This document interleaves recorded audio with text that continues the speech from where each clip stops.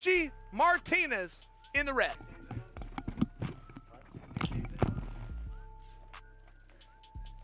You ready? Man, you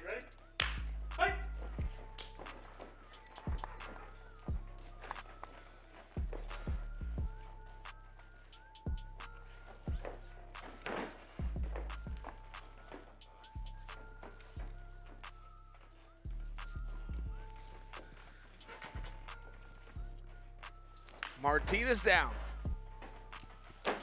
Electing to work off his back. CB Dollaway being aggressive, though, for a guy on top. CB Dollaway looking for what we call a leg, a leg drag. Trying to grab those legs and just drag it to the other side.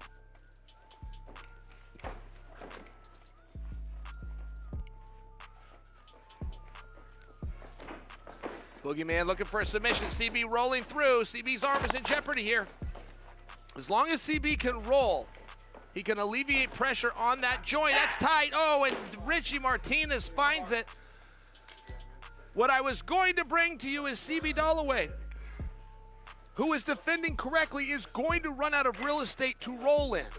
There's only so much rolling you can do when you have an apparatus like a cage that's ultimately going to stop you. Richie Martinez using that experience, using that flexibility, using that technique, able to secure an arm. Very big win for Richie Martinez. Kevin Keeney, take it from here.